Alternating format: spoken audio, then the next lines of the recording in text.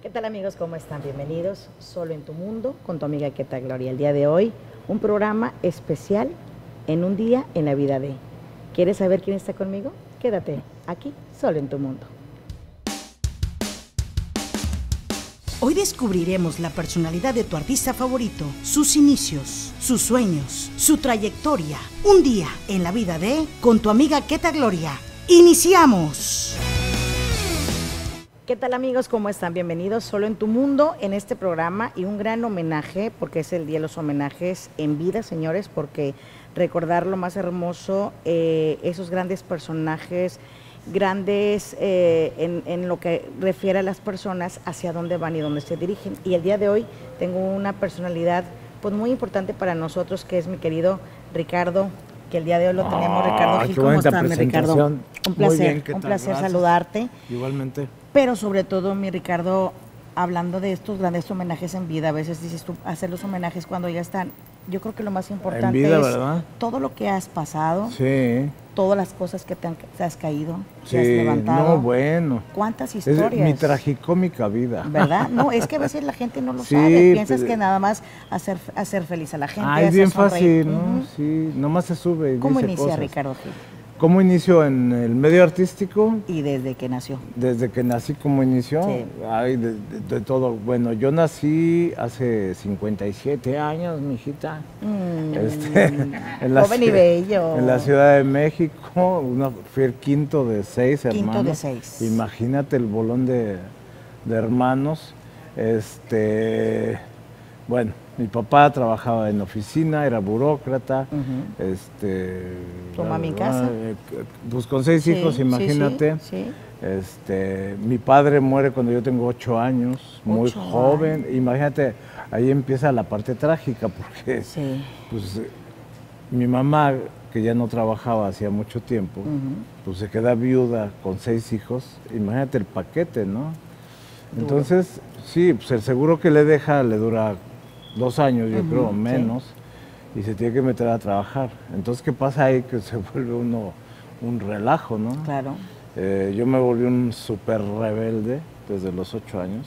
Pues, Estabas enojado porque. Estaba te enojado y papá. sacado de onda. Sí, y no. Yo creo que no lo digería yo bien, Sí, porque estaba muy chico. estabas pequeño. Entonces yo creo que lo canalizaba a través del juego, de, de estar afuera en la, en la bicicleta.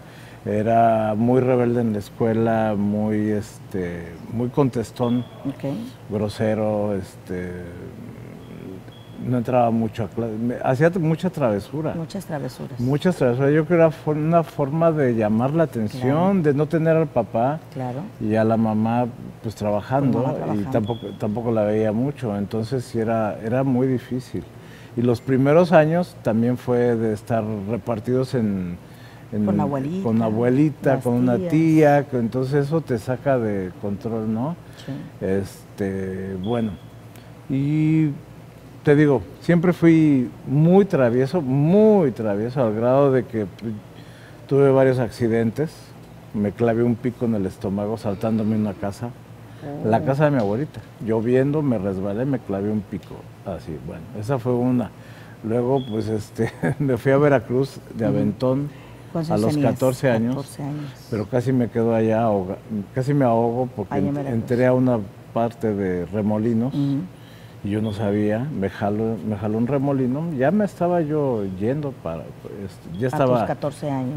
a- afortunadamente iba conmigo un amigo que se fue también de, de Aventón, de mochilazo, como de mochilazo y me salvó, Fíjate. pero acabé en el hospital, este, obviamente no llevábamos dinero, entonces tuvimos que regresar, Sí. me dio insolación terrible, bueno, un relajo, ya, este, mi pobre madre sufría todos los, ¿Cómo no?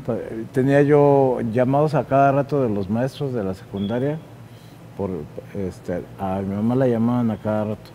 De tu mal de- comportamiento. pues, del mal comportamiento, pe- pero más que nada era, pues no era, no era de, de pelearme, sino de hacer travesuras. Travesuras. Ajá.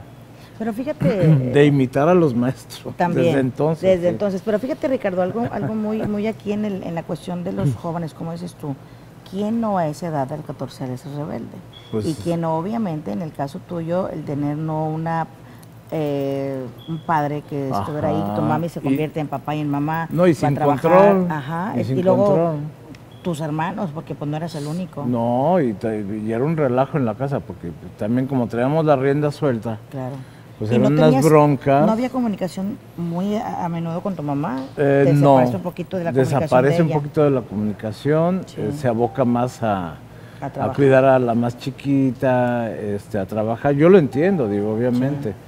Y, este, Y no te dio por decir, mamá, pues voy a trabajar, te ayudo en algo. ah, no. Yo empecé a trabajar, los, de hecho, a los 15 años. Empecé trabajando de cerillo, Cerillo. Cuéntale, envolviendo cosas en, a la un- gente que de en un mundo, ¿qué es supermercado. un cerillo? El que envuelve cosas, el que ya cuando paga la gente mete las bolsas y le ayuda a la gente y gana la propina. Ok. Eso fue a edad de A 15, los 15 años. tu primer trabajo. Mi primer trabajo, luego me fui a trabajar ah, de mensajero a una casa de bolsa.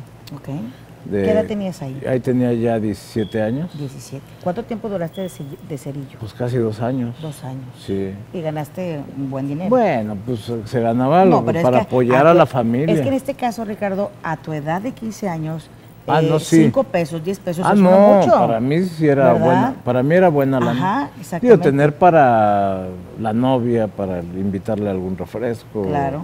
Porque era noviero también. También eras noviero. Sí, también. Pues ¿Cuándo, me- cuándo cuándo tenías tu- cuando tuviste tu primera novia? la, la primera novia sí formar, bueno, la primera novia fue 13 años, 13. 13 años. ¿Y cuánto duraste? Y ella tenía igual 13, pero era- ella era más madura que yo y me, me bailaba bien gacho. me ponía los cuernos. Y, y todavía la- sí, tengo comunicación con ella todavía ¿A poco? Sí, porque la volví a encontrar, tra- vive en, en Dallas. En Dallas, Texas. Y este, le digo, "Ah, te voy a ir a visitar, ahora me voy a ir a vengar. ¿Y qué te dice? Se No, le ríe da nada risa y más. dice, ¿cuándo te traté mal? Uh, le digo. ¿Y te las Ni cuento? me recuerdes. Lo malo es que no tengo pruebas.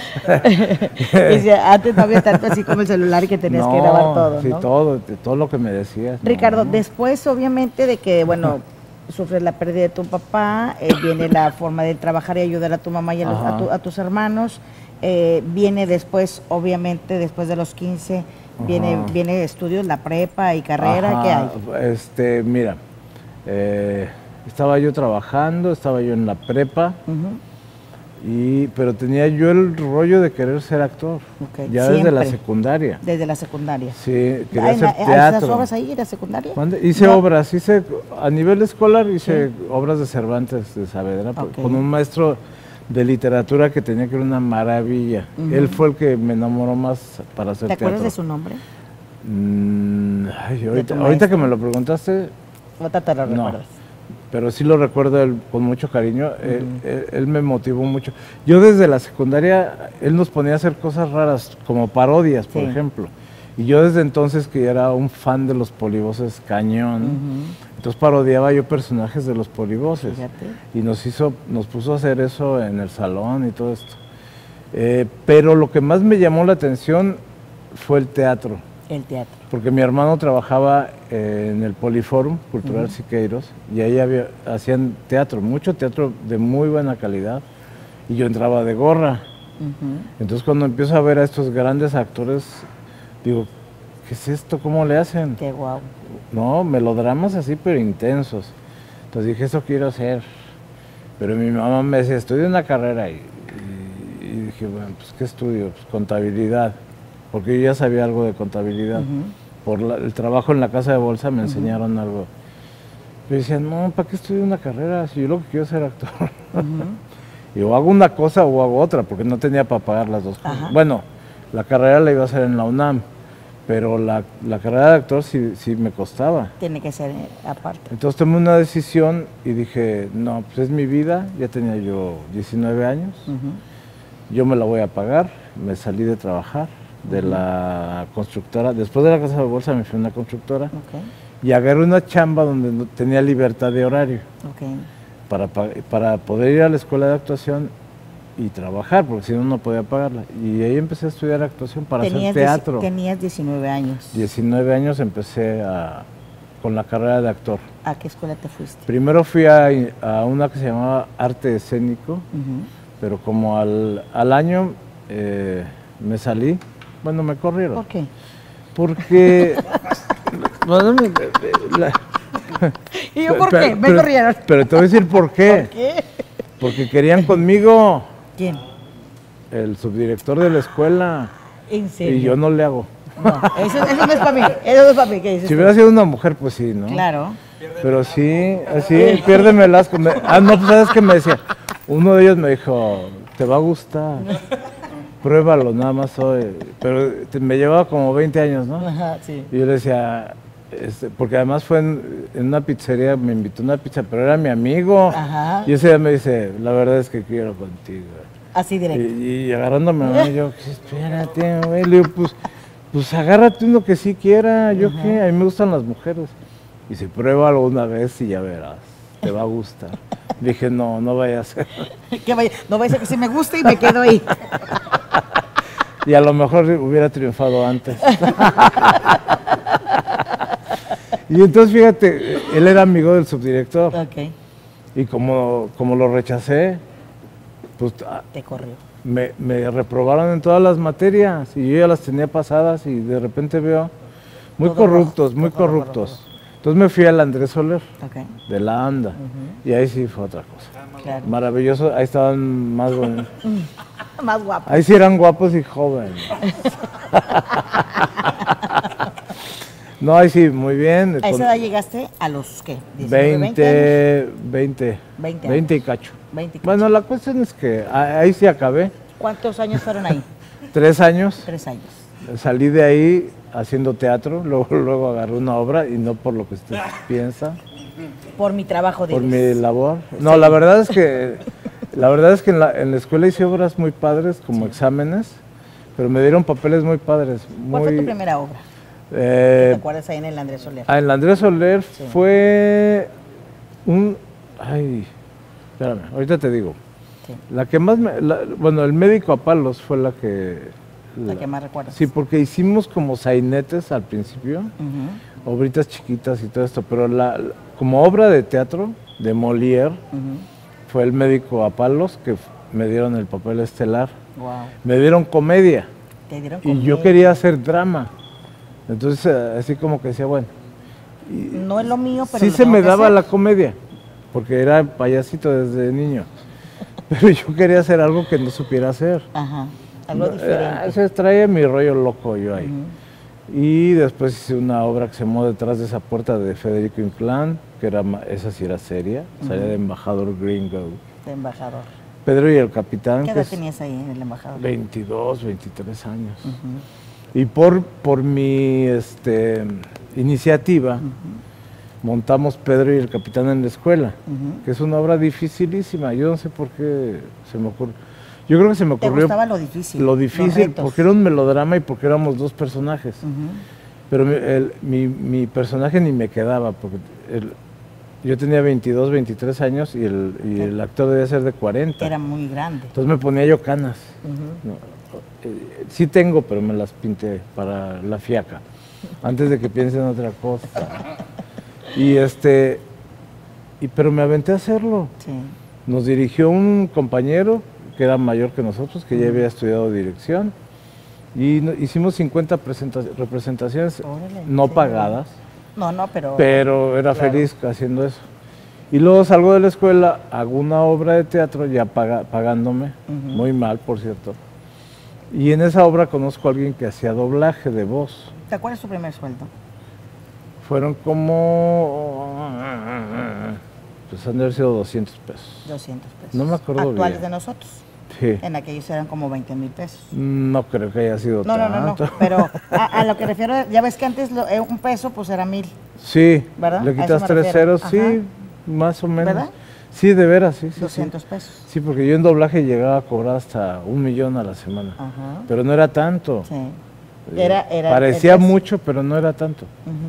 Y este, bueno, conozco ahí en, en el teatro a, a alguien de doblaje, me hago, me hago amigo de él y me empieza a jalar a doblaje. Y yo decía, no, yo no quiero hacer doblaje, quiero hacer melodrama. Melodrama. tú. Pero cuando empiezo a ver el- que el doblaje era diario y que se ganaba Era diario y yo ya vivía solo, Ya fuiste solo. Entonces dije, ah, pues de aquí soy, voy a tener para pagar la renta y el teléfono y la luz. Porque andaba yo bien fregado. Y de repente vendía perfumes y esto, y le, le- le hacía por acá y De por allá todo. para completar mi gasto, ¿no? Claro, pero ¿qué te parece si vamos a un corte y regresamos en esta segunda parte corte, de mi corte. querido Ricardo Gil? aquí Muchas en gracias. Buenas noches, mire usted, bienvenidos al noticiero Amor Vidas. Hoy les tenemos las noticias más amorosas del momento. Y la pregunta que le hago el día de hoy, ¿cree usted que se debería crear un sindicato para defender a todos los que son enviados a la Friend Zone? Los que no saben qué es Friend Zone, pues ni modo estudiaron en escuela de gobierno. Es la zona de la amistad, pues, para los rucos. Digo, para los rucos que no entienden.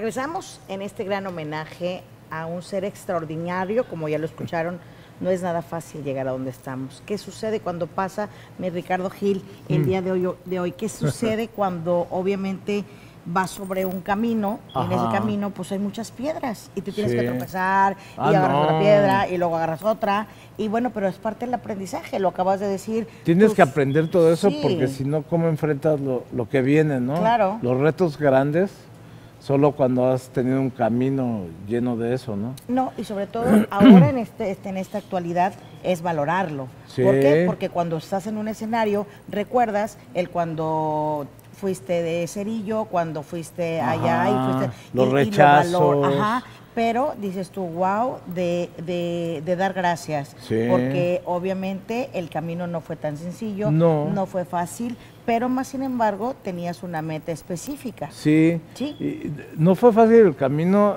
pero la decisión que tomé fue la correcta. Porque ha sido un trabajo de 34 años, que desde que empecé a hacer teatro y doblaje, ya cobrando y todo esto, pues para mí ya no era trabajo, era, diversión, era padrísimo. Cuando yo iba a, a mi trabajo en oficina, o de- sí decía, ay, ya va a ser lunes, qué horror. No, y sobre cu- todo eso cuando dicen, ¿no? Eh, cuando te empezaste a trabajar y te digas, ay, el lunes tengo que ¿Y trabajar, qué- y qué hora mejor es? que me vayan. Yo decía, las 9 de la mañana apenas. Exacto. y cuando estaba yo ya haciendo cosas de actuación, Se te pasaban las horas en el ni estudio. veía el reloj. No, y, te pasaban horas del día, dices, no ves ni, ni siquiera veías la no, luz. en doblaje p- me pasaba mucho eso. Empezábamos a las 9 de la mañana y salíamos a las 10 de la noche. Exacto. Pero bien contentos. Claro. Cansados, pero contentos. Entonces dices, esa es mi vocación. Y yo creo que esa es, es una bendición.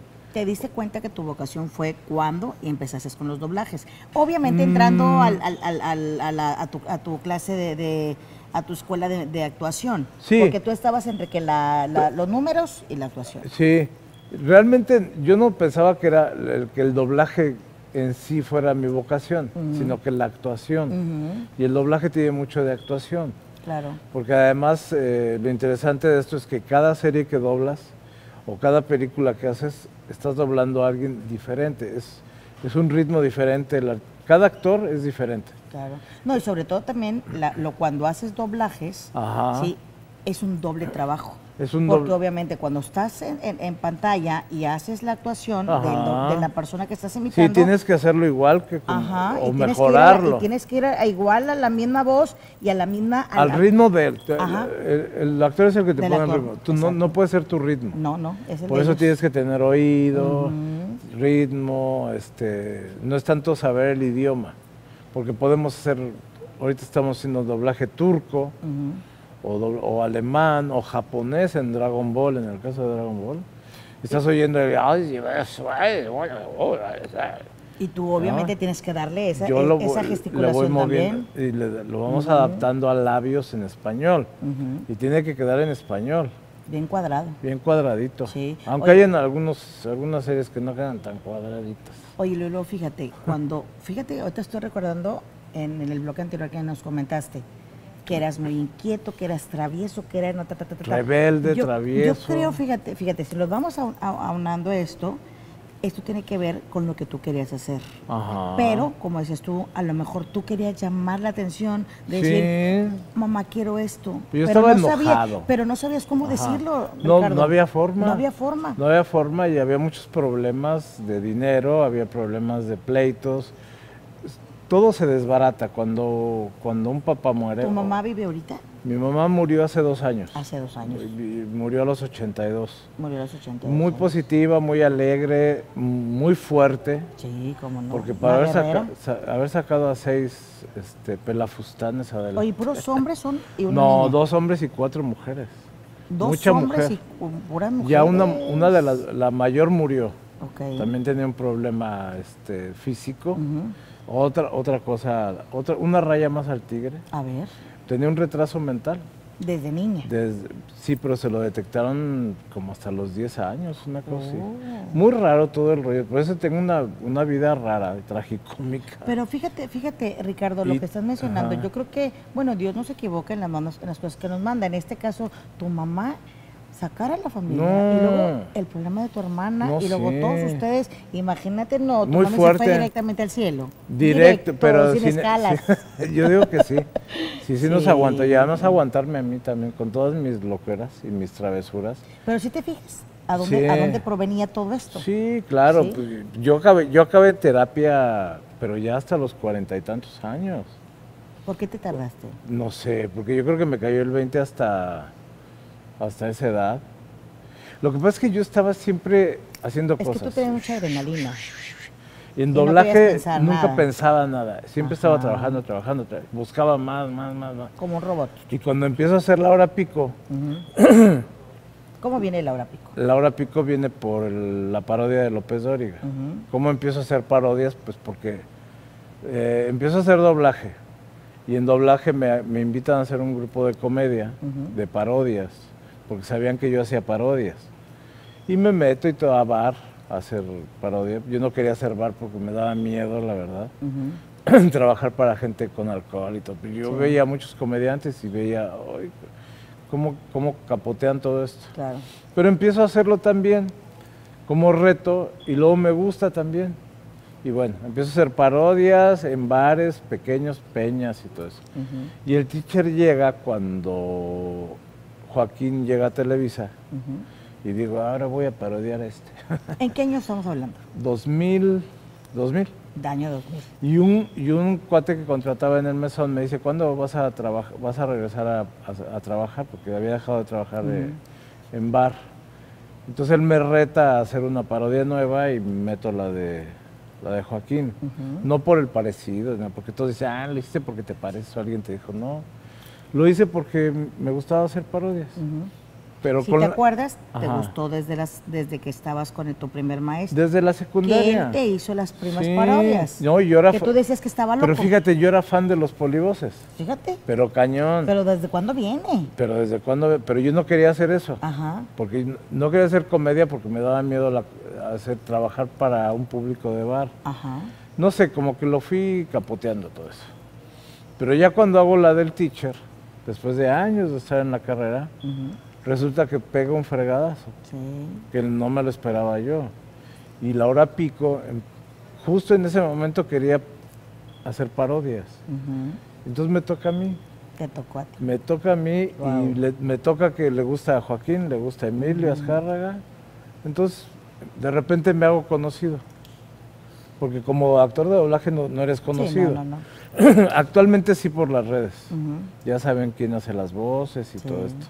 Ya tenemos fans de doblaje también. Ya tienen fans. No, y aparte- Muchos fans. Aparte hay otra cosa, eh, Ricardo, como que ahorita con, con todo este movimiento de la tecnología, obviamente como dices tú, ya no somos tan desconocidos, sino No. simplemente esto, inclusive la misma gente te lo va pidiendo y, Sí. y hacen sus videos y mandan sus Ah, mensajes, no, sí, ya, etcétera, ¿no? exacto. Y es más fácil que lo que obviamente en tu, en, tu, en tu época pues no te tocaba mucho el de que dices tú, bueno, mis doblajes ni sabían, por ejemplo, No, ¿le puedes recordar a la gente cuáles de los doblajes fueron tus primeros doblajes? De los primeritititos estuve en El Cazador. El cazador. Porque, uh, quién sabe si te acuerdas de esa serie. no me- tú no me acuerdo. Cagney Lacey, trabajé en algunos capítulos. Ajá. Estuve eh, en películas, estuve en Pelotón, Pelotón. la de Oliver Stone. Sí. Estuve en Armagedón, hice al ruso. Al ruso. ¿Cómo Al al ruso? ruso, ah, sí, tenemos problemas. No me acuerdo. Eh, eh, hice, bueno, de series, las primeras fueron una que se llamaba Fuerza G, Fuerza G. o era anime japonés. O sea, yo lo que hablaba así, a veces. O sea, hacíamos de todo, las tortugas ninja. Hacía yo a vivo, ¡ay, jefecito chulo! ¿Cómo está usted? Eh, pero de las fuertes, así, el gato silvestre lo hice cinco años. Ok. El gato Eh, silvestre, a ver, ¿cómo hablaba el ah, gato? sardinas, faltarinas, me tienen aquí en esta entrevista y no he podido perseguir a Piolín. y tengo hambre, Sí, tengo hambre. y tengo hambre. Eh, ese, ese personaje lo hacía yo solo porque escupía a todo el mundo. Pero tiene que escupir. Sí, tienes que escupirlo, sí. Y la más popular o la más famosa es Dragon Ball, Dragon Ball, que tenemos 32 años nada más haciéndola. fíjate. Y ahí hago a Kaiosama aquí, está buscando las esferas del dragón y enseñándole a Goku a pelear. y, y- y seguimos, y sigo haciendo Dragon Ball todavía. Y una serie que se llama Dice- eh, Vestido de novia Gran Bretaña. Vestido de novia gran Bretaña. Es un reality show de un modisto de allá de. El que le hizo el, el vestido a Lady D. Ajá. Es un cuate así, bien, bien varonil, que hace vestidos de novia. Y así habla. Y tú haces el doblaje Y yo hago, yo lo doblo a él, pero nada más la voz. La- Y es bien padre el doblaje. Sí, cómo Nunca no. acabas de aprender en doblaje. De hecho, hay una serie que se llama El pollo y la vaquita. el pollo y la vaquita. Yo hacía un personaje ahí que fue el más difícil que hice en toda mi... Él, él Él ha sido el más Más difícil. difícil. ¿Cuál era? El hombre sin pantalones. Ajá. pero que hablaba, hola, ¿cómo están? ¡Qué gusto verlos! Ay, aquí estoy tranquilo. Entonces hablaba diferentes ritmos, hacía la voz grave, aguda, lloraba, gritaba, joteaba, bueno, complicadísimo, pero divertidísimo. Ricardo, eh, tuviste obviamente algunas clases de canto, de dicción, eh, Mm, para bueno. desarrollar todo esto en, en tu, en tu escuela, ¿no? Claro, eh, voz y dicción sí, sí tomé en Andrés Soler, pero fíjate que con el doblaje desarrollas un callo. Ajá.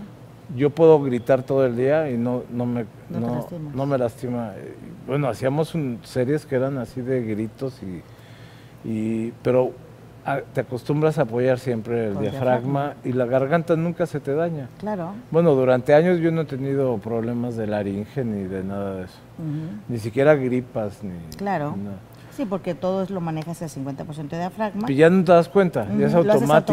automático. Sí. Ajá, O exactamente. puedo, puedo. Otra la tiene dura, mira, sí. está dura. No, no está tan dura, pero sí está apoyada. Sí, está apoyada, exactamente. No, sí, es ta- que pero sí. lo ideal, por ejemplo, Sí. para un actor es hacer abdominales, Ajá, exactamente. porque siempre apoyas más y para el show y todo eso, sí procuro hacer ejercicio. Claro. La natación es buenísima para eso. Claro, sí, sí, y sí. este y vocalicé por mi cuenta algún tiempo con una maestra de ópera, Oh, porque quería yo quiero cantar en el show, pero soy bien sacón, ¿por qué?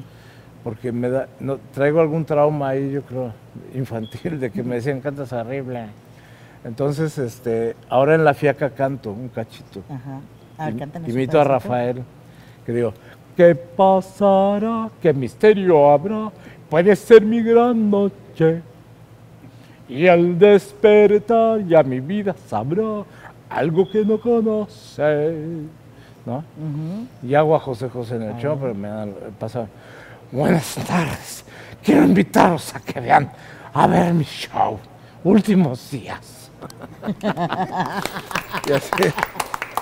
Entonces, todas las invitaciones y cosas que hago las llevo a otro lado. Por ejemplo, si yo digo, antes decía, por el- con el procurador, el que, el que, el que este, tenía bronca con Mario, Mario Besares, Este, este, no me acuerdo, que ya murió. Sí. Entonces yo decía, lo veía y le hacía, no, yo decía, "Se- es como clavillazo el procurador, decía, no, ya estamos tras la pista para atrapar al Mayito Besares. Decía, es como clavillazo, ¿no? Nunca me hagan Nunca eso. me hagan eso. O sea, Fox es como Homero siempre. Ay, sí, Martita, dame mi cerveza y mi Prozac. Entonces, lo que me gusta más es llevar como a otro lado la imitación. Claro. lo digo, por ejemplo, el teacher lo hago de una forma que, pues, que él no lo haría, ¿verdad? Ajá. Y digo cosas que él no, que no diría. Claro. Y digo noticias que él no diría tampoco. Pero fíjate qué padre en, en ese aspecto, mi querido Ricardo, tener la oportunidad Ajá. de poderlo desarrollar de esta manera. Sí, Que obviamente la gente, tú sabes, la gente mexicana es como que muy, nos reímos de la muerte. Sí. Entonces, qué bonito. Y en este caso, pues, el, el- el- como, como has dicho, el papel que me dio a conocer. que en el Ajá, caso No, eso fue el que, y, y- y fue, y fue el que me dio a ¿Nunca lo conocer. pensaste? No, ¿Nunca te imaginaste todo lo que ibas a desarrollar con no, este personaje? te digo que yo ya me había como que desilusionado del show, porque este, pues era mucho, mucho estar, toda la semana hacía yo doblaje, muy cansado. Muy cansado. Y llegaba Porque viernes eran jornadas de horas y 10 horas, horas, sí, 12 horas. sí. Y llegaba el viernes y yo tenía que ir a dos lugares, a dos bares. Me desvelaba. Al otro día estaba yo así muriéndome. Y tenías que levantar temprano y No, la eh. garganta, la, la, la diafragma, todo listo. Sí, para la la noche el sábado, tres lugares. Entonces llegó un momento que dije, ya, ¿para qué hago tanto show si con, con lo que gano en doblaje me alcanza? Bueno, ya tenía hijos y todo. Entonces, ¿qué te parece si vamos a un corte y después me platicas esta historia? Vamos a un corte. Vamos a un corte y regresamos un día en la vida de mi querido Ricardo Gil, aquí solo en tu mundo.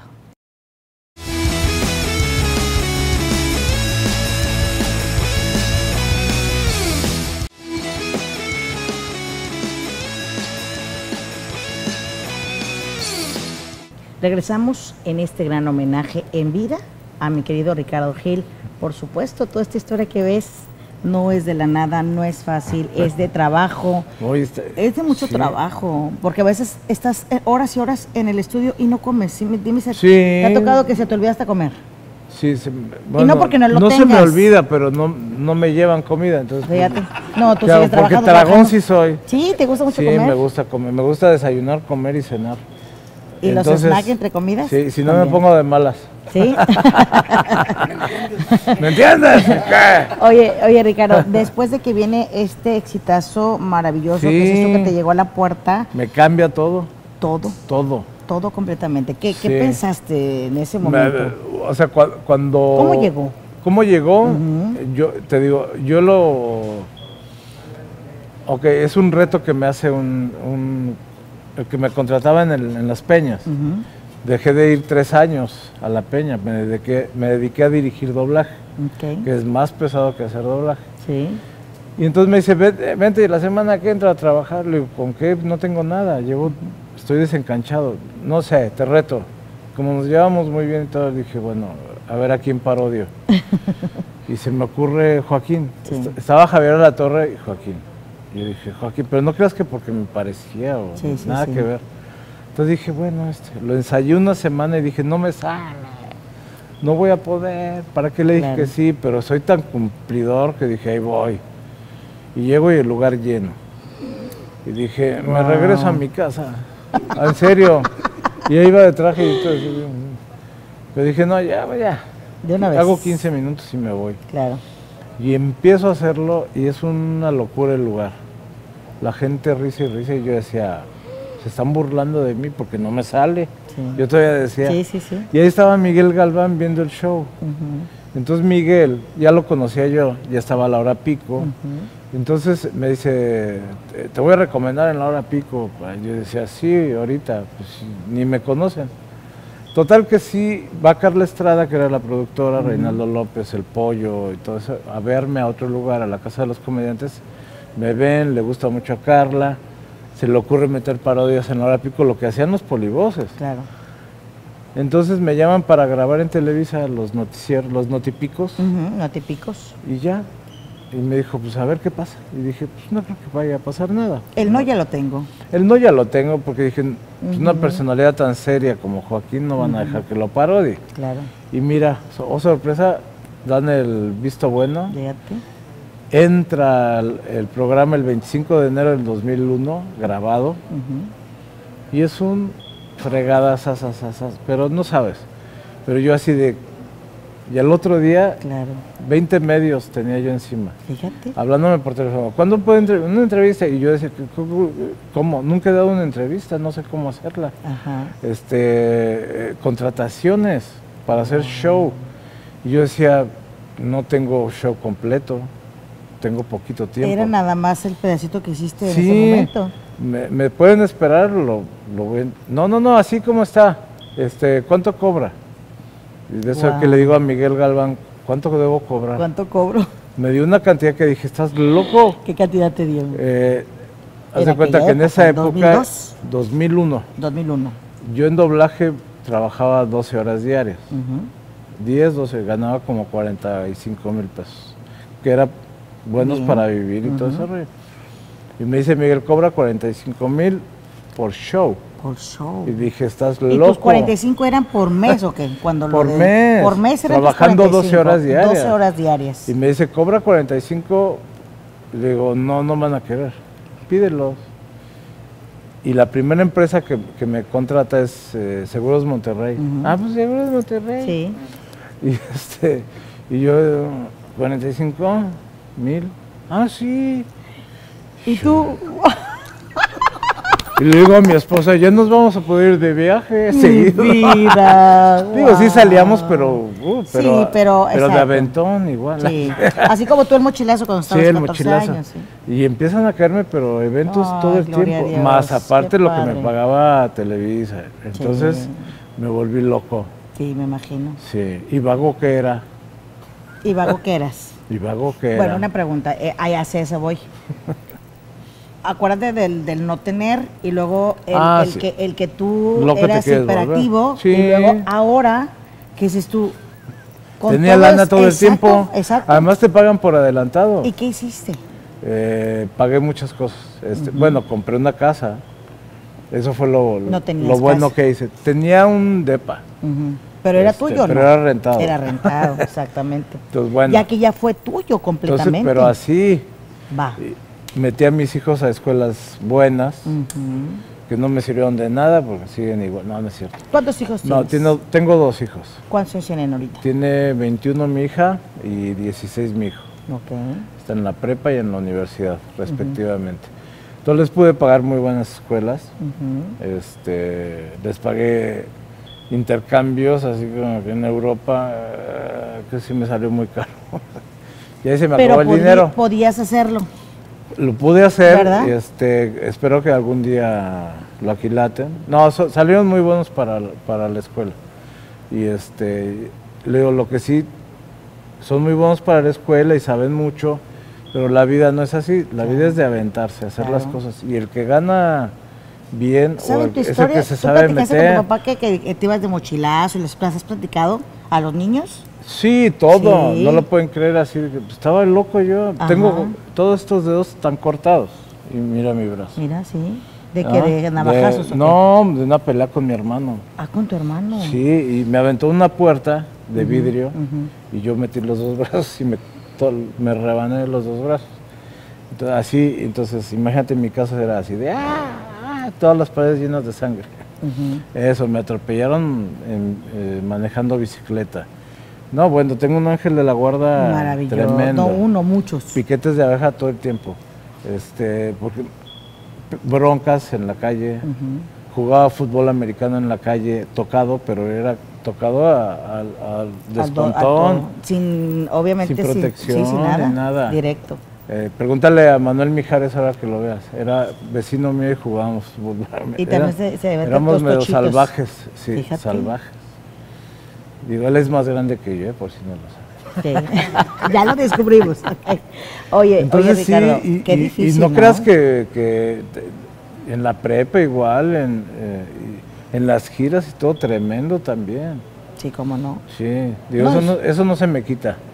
No, ¿y sabes por qué? Porque es tu esencia, Ricardo. O sea, definitivamente, y necesitabas esa esencia para hacer lo que ahora eres.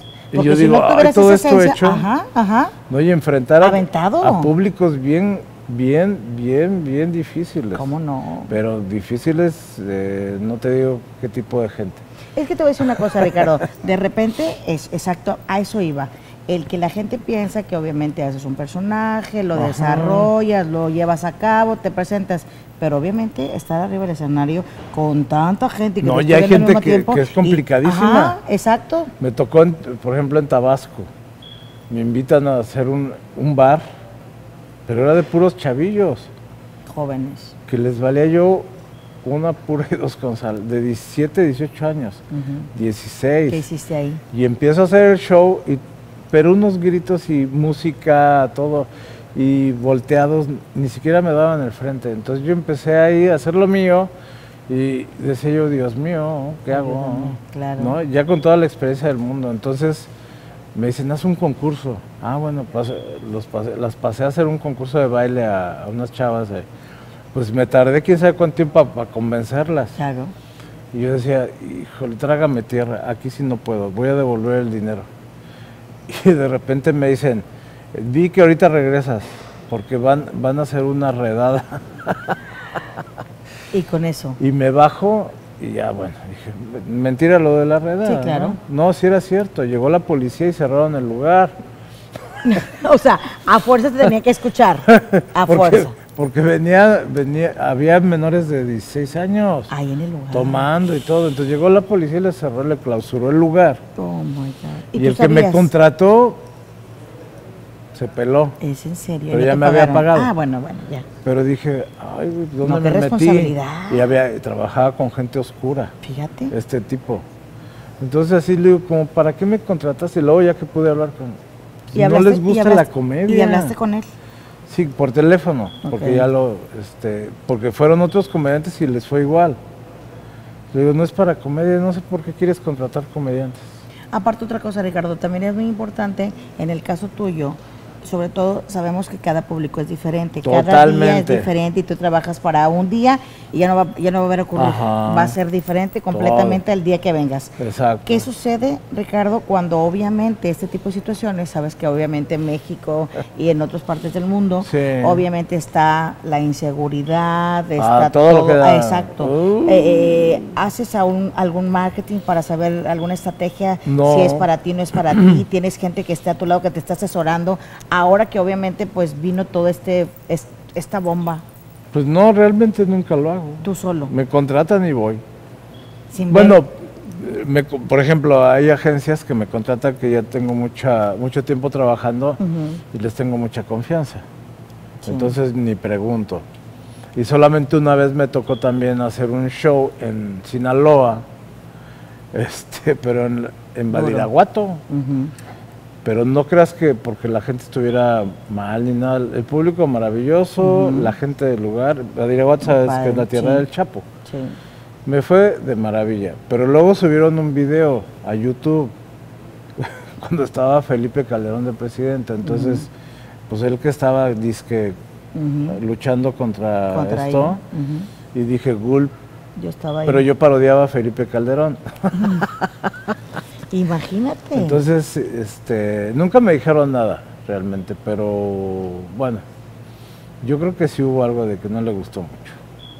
No, pero sobre todo eh, a eso me refiero, que como no hay un, una forma de decir a dónde voy, con quién voy, No. no es así, sino simplemente te presentas, das tu show y adelante, sin pensarlo. Y nunca, digo, nunca he tenido problemas por eso. Ujú. Y he hecho videos así para bandas y todo esto, y, y bien, es gente que te trata bien. Tranquilos. y te o sea que- paga y todo, ajá. claro. Pero no he hecho demasiado, he hecho más empresariales.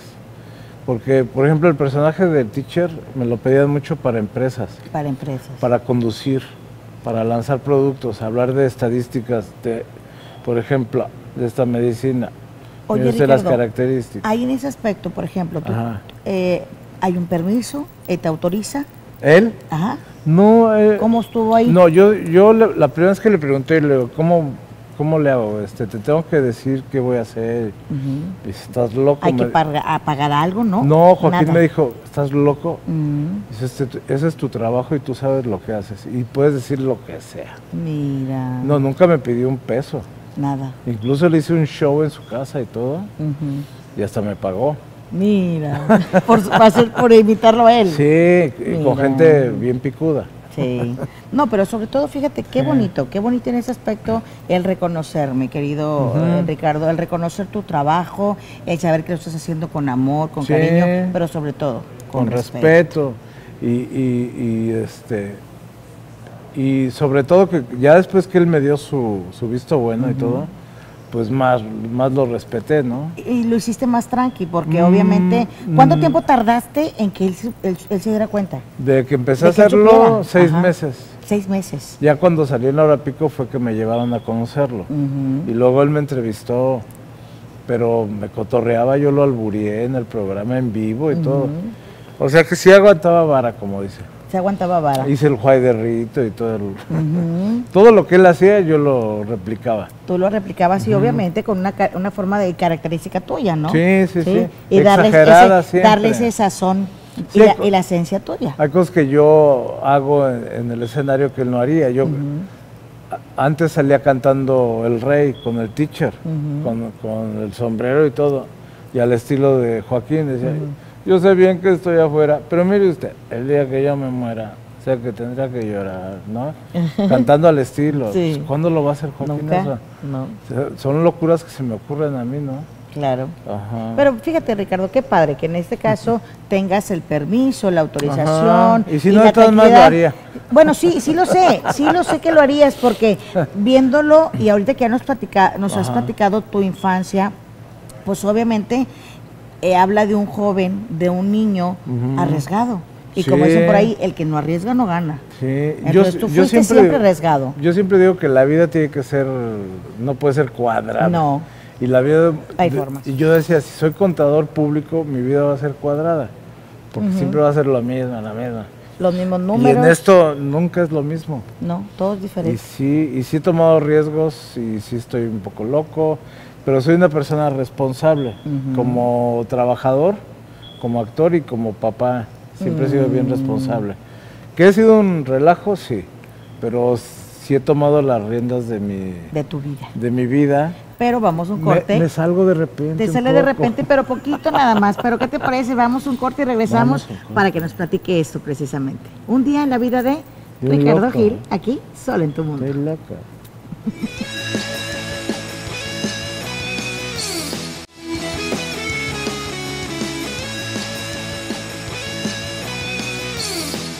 Regresamos en este homenaje en vida a mi querido Ricardo Gil, que obviamente, fíjate qué padre decir eh, homenaje en vida, porque desde los 14 tú también a lo mejor ya no ibas a vivir cuando lo de que te pasó en Veracruz. y ya hubiera quedado. Ahí hubieras quedado. Ay, no, tuviéramos la oportunidad no de platicar ahorita. No hubiera hecho nada de Fíjate. mi vida.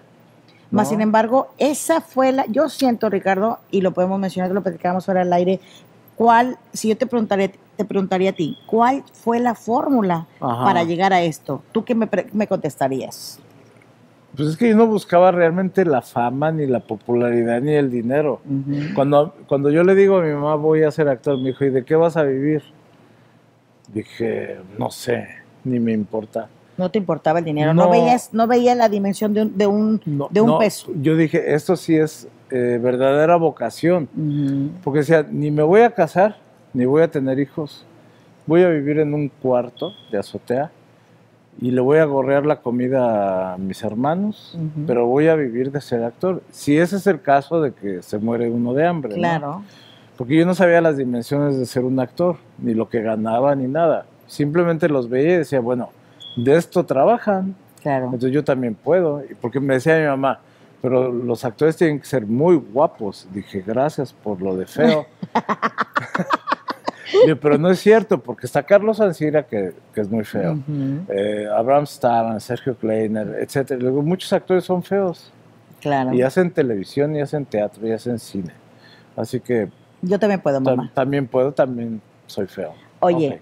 Ricardo, ¿qué pasa cuando tu mamá ya te ve, que tiene la oportunidad de verte, Ajá. de ver, Fíjate, sí, mientras estuve haciendo doblaje decía, ay, qué bueno, mijito. no veía? Decía, bueno, no, no es famoso, pero, pero vivo de la actuación porque Ujú. hago cosas también de teatro. Pero cuando empiezo a salir en la hora pico, Ujú. me decía, ahora sí, mijita. Ay, ¿Cómo ahora sí? Si ya pasaron mi 20 vida años. Hermosa. Pero para ella era sinónimo de fama más que nada. claro. Y aparte, bueno, también pensaba que, que- que- que me iba a pasar lo del maestro. Le decía, pero pues, ¿qué tiene? No pasa nada. Oye, pero sí hay oportunidad. Ahora sí, Sí. ya después, ¿a los qué años murió tu mamá? ¿80 y qué? Ah, tenía 82. 82. Sí. Hubo 80. oportunidad de platicar con ella, Ah, de sentarte sí. a tomar tu café. Ah, Mamá, claro. mira esto, me pasó todo, hice todo Hasta un esto. tequila. Fíjate, sí, sí. Sí, sí. Tuvo la oportunidad de, de- sí. de- de cerrar bien su ciclo. Sí, y como no, claro que sí. Y este, porque sí fue una relación difícil porque ¿Y pues se lo bueno, comentaste tú? ¿Se lo sí, dijiste? le reclamé muchas veces. Sí, Pero luego dije, no, qué, qué ingrato yo, porque la verdad la tuvo muy difícil. sí. Ya cuando tienes hijos dices, "Ugh, ay, güey, yo nomás tengo dos. Por eso cuando dicen, cuando tengas tus hijos me vas a entender. ¿No te, Pero ¿Cuántas ella- veces te dijo tu mamá eso? Uh, sí. ¿Verdad Pero ella sí? seis, y sola. Y solita. Y sola. ¿no? Y Pero ahora, mira, le ayudaba yo desde, desde pequeño.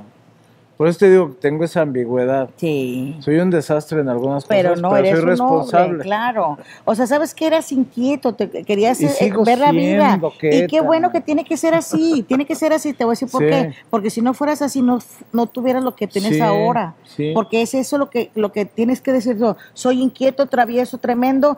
Porque me gusta hacer esto, más sin Sí. embargo soy cumplido, responsable y estoy ahorita bien con tu esposa, tus hijos, Sí, etcétera. y lo disfruto mucho porque, por ejemplo, ahorita que agarré la fiaca, la obra de teatro, no es lo mismo que un show. Yo vuelvo al teatro cobrando mucho menos, pero tú sabes, ahora que pisé otra vez el escenario teatral con un personaje que nada que ver con lo que hago, pues para mí ha sido riquísimo. Claro. Eh, Estoy como eh, con, con- Regresando a como con niño con juguete nuevo.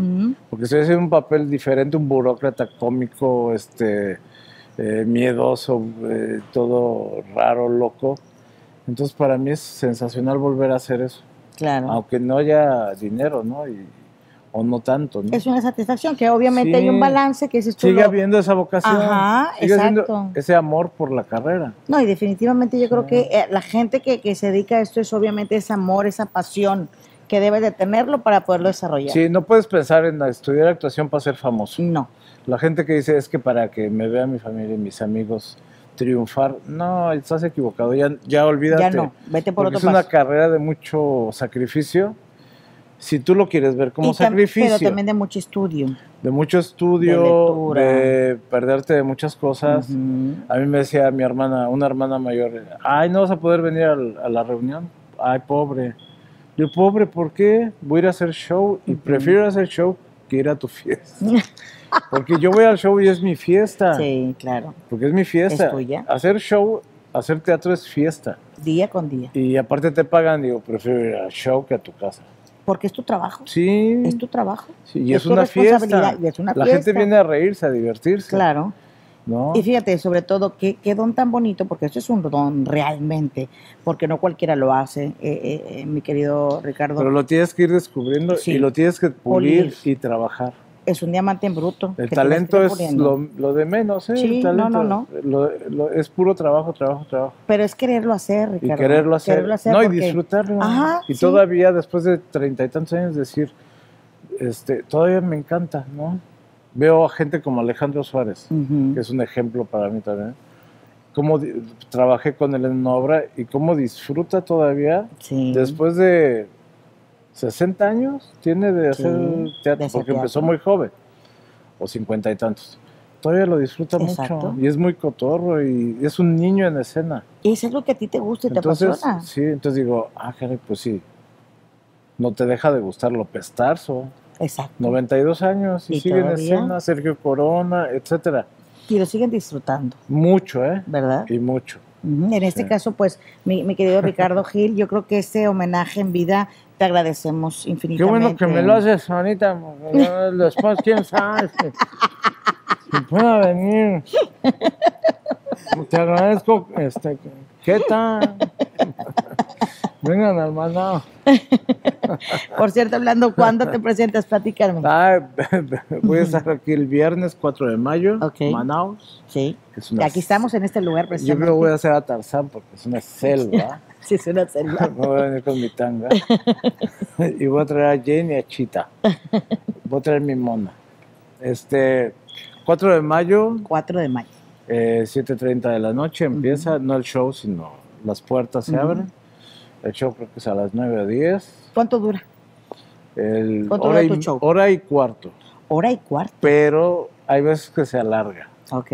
Depende cómo esté la gente y si la gente quiere y si, y si el lugar lo permite también. ¿no? Oye, ¿y traes solamente un personaje o No, traes varios? Fíjate, hago stand-up.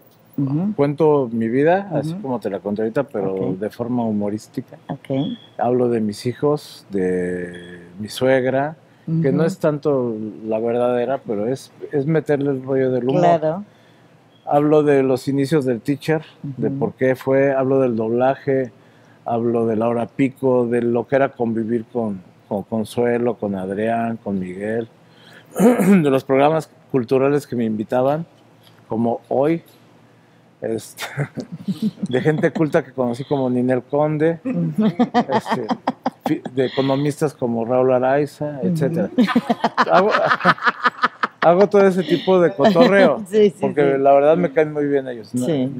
Pero son muy famosos, entonces hay que hablar de ellos. Claro. Este, mm, luego hago la parodia de Joaquín, donde doy noticias, eh, también cuento relatos, eh, hablo de José José, que lo entrevistó Joaquín, y doy la receta del pavo a la José José, hablando como José José. Y el pavo lleva puro alcohol. Ah. ¿Y cómo es? Este, bueno, un adelantito, porque si no luego no van a venir. No, no, ¿qué una, un adelantito, un adelantito. Mira. Para que los dejes picados. El pavo lleva, lo vas a rellenar con un litro, un litro de whisky, un litro de tequila, un litro de brandy, un litro de ron, una caguama y alcohol al gusto. y hay más de la receta, pero. Pero vengan- nada más quedó Vengan para que vean completa, cuál, es el la desenlace. receta. Luego hago a Maussan, Ujú. que es el de los extraterrestres. Cuento algunos chistes seleccionaditos de los buenos, de los no muy quemados, a mi estilo además. y hago improvisación con la gente. Ok. Cotorreo Participa mucho con la contigo gente, pregunto, digo, agarro dos, ellos. tres personas, eh, hago un juego ahí como de, eh, ok, fulana te llamas tal, profesión tal, si hay algo en común con otras, hago un juego ahí Ok, de memoria y de todo este rollo, ok, porque tengo una llamada de mi esposa, se Oh. supone. ok. Entonces, ¿me estás en el table? No, estoy aquí manados trabajando. Si no, pregúntale al doctor fulano o al ingeniero, que ya le pregunté yo antes. Entonces hago ese juego, ¿verdad, ingeniero? Que no es table. Y entonces ponen en la pista número 4, Zuleika. Entonces, es pura diversión, ¿no? Pura es para que la gente se vaya contenta. Y se relaje un poquito porque pues obviamente es del estrés y el Es trabajo. necesario. Es necesario darse ese tiempo. Hay mucho drama en México, Ajá, exactamente. demasiado. Entonces dura dos horas, No, hora y cuarto, hora y cuarto. hora y veinte. Todo esto. La nalga no aguanta tanto. No. Y te voy a preguntar, ¿todo el tiempo estás sentado? No, parado todo el tiempo. ¿Parado? No, no hay escritorio, no hay. No hay nada. No, no, no lo puedo hacer así porque si me siento, se pierde mucho contacto con la gente. Sí, Eso sería en teatro, digamos. sí, sí, sí. Pero ya en show tengo que andar de aquí para acá y jugando con los de arriba, los de abajo. Y voy a hacer también al peje, Del peje. para que voy a hacer un poco de campaña. ¿Cuándo inicias la campaña? Pues, Ya mero. sí. Digo que, que por favor, si vamos a votar por Andrés Manuel, Ajá. Pues vamos a tener que pedir que sean dos sexenios. Porque habla muy despacio. no- Y de aquí que llega el otro. Entonces imagínate en el grito, vivan los héroes que nos dieron patria. ¡Viva Morelos! Eh, ¡Viva José Ortiz de Domínguez! El asesor, señor, ya se fueron todos. ya es 24 de diciembre, no mames. y bueno, también hablo de los otros. ¿eh? Sí, de todos. De Anaya y de, y de Mid. y de- Mid, qué chistoso es Mid, ¿no? Ujú. ¿Cómo está vos? ¿Cómo lo vas a entender, rostro? ¿Por qué no se arregla los chicos? Y digo que no votemos por Mid porque se va a ir despintando año con Y del Bronco ustedes dirán, pero yo, yo no. Yo, yo tengo las manos bien, no las voy a querer cortar. No, no, no, las tenemos completitas. Nos portamos bien, como dicen por ahí. Y bueno, Margarita, ¿verdad? Que si sale, si soy presidenta, mi, mi esposo va a ser el primer caguamo de México, en vez del primer damo. El primer caguamo. El primer caguamo. Sí, Entonces hablamos de todo eso. de todo un poco. Y de repente improviso cosas que se me ocurren en el momento. Me gusta jugar con Te eso. gusta. No, y sobre todo Para que sea diferente. Ajá, exacto. Por eso te decía que los- todos los shows son diferentes. Sí, Sí. sí, sí, sí. Y sobre Tra- todo para, trato. Ajá, y sobre todo para que obviamente la gente que obviamente va a acudir, va a acudir este, esta fecha y obviamente invitarles a hacer esa atenta invitación. Que Y no- Y no, vengan. nada más, obviamente no nada más en Monterrey, sino hay por todas partes de la Donde me Mexicana. contraten, donde me lleven, allá voy. Aquí van a aparecer los, los eh, del súper, aquí están, va a aparecer Ay, no he, el hecho, número. no he hecho el súper. por ¿No has hecho el súper? No. Bueno, aquí está, aquí está, aquí te lo pongo. Así es que para que la gente pues lo quiera contratar con mucho gusto, así es que ya sabe, Por favor. mi querido Ricardo Gil, muchas, Muchas gracias. gracias, Gracias ¿qué a ti, mi vida, gracias. Dios te bendice. Me sacó la sopa. Toda. ¿Cómo La le hace? La de No las sé. letritas, la de las letritas. No me faltó yo. No, muchas gracias. Gracias por todo. Sacar tu corazón Ajá. y sobre todo el homenaje en vida. Muy, muy excelente entrevista. Muchas gracias. Dios te bendice. Al contrario, muchas gracias a ti y gracias a todo nuestro público que siempre está al pendiente.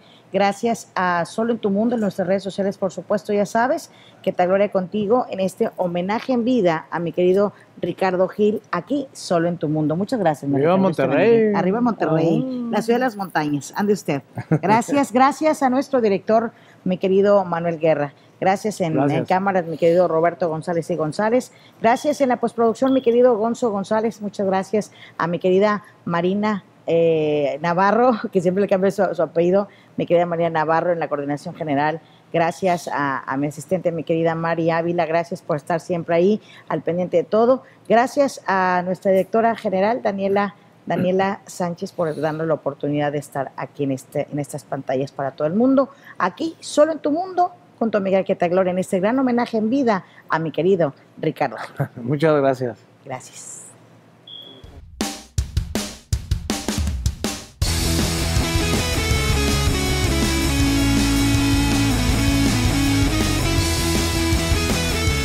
Hasta aquí, tu programa, Un día en la vida de... Esperando que hayas descubierto la historia de tu artista favorito. Nos vemos la próxima semana.